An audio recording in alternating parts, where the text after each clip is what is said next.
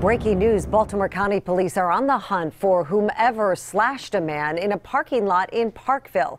Officers were called to the 1800 block of Taylor Avenue just before 10 tonight.